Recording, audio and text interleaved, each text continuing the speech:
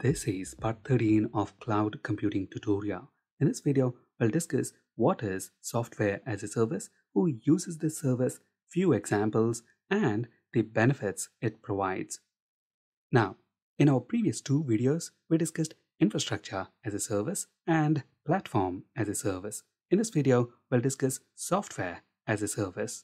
As you can see from the diagram here, with software as a service, the cloud service provider manages everything for us. We don't have to worry about anything like purchasing and setting up physical hardware, installing operating system, virtualization, setting up network, installing and maintaining middleware, runtime, and applications.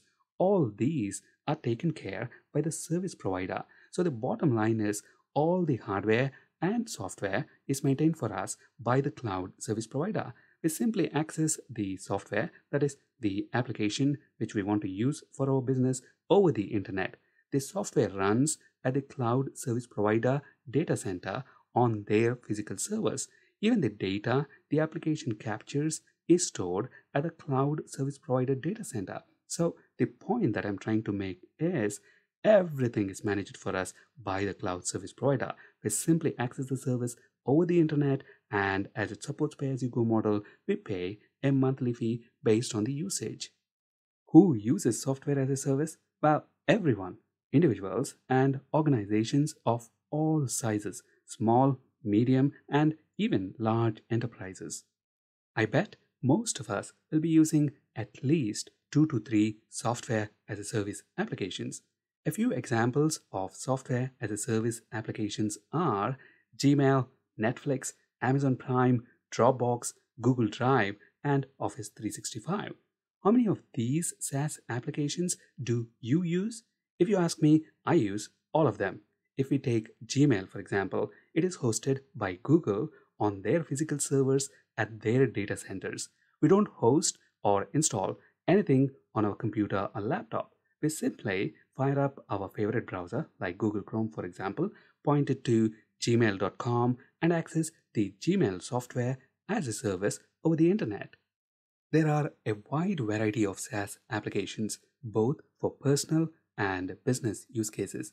We have SaaS applications for customer relationship management, CRM, financial management, sales management, human resource management, HRM, billing, entertainment, storage, collaboration, the list goes on. Now, let's look at the benefits. It's very easy to get started with a SaaS application.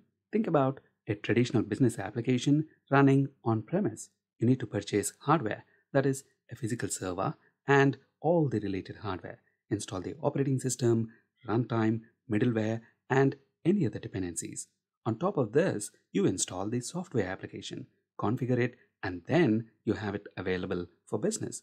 You also need to recruit workforce to maintain the servers and the application, that is, to install patches and updates. Now, compare this to a SaaS application. You simply fire up your favorite browser and access the SaaS application over the internet. There might be some customization and configuration required, but it is definitely very easy to get started with a SaaS application than running that same application on premise. Accessibility is another great benefit. You access SaaS applications over the internet. So this means as long as you have an internet connection, you can access a SaaS application from anywhere and any internet enabled device. Automatic updates. With a SaaS application, you don't have to worry about installing updates or patches. These are automatically provided by the cloud service provider, that too, in most cases, with a zero downtime. This obviously reduces the burden on the in house development and IT staff. Flexible, usage based pricing. No upfront, huge capital expenditure. You only pay for what you use. For example, if you have 10 users using the application, you only pay for that 10 users. You also have the flexibility to scale the number of users up and down depending on your business needs. With SaaS applications, there is reduced financial risk. For example, if you want to see if a SaaS application adds value to your business, you can start with one or two users and then see if it's really adding any value.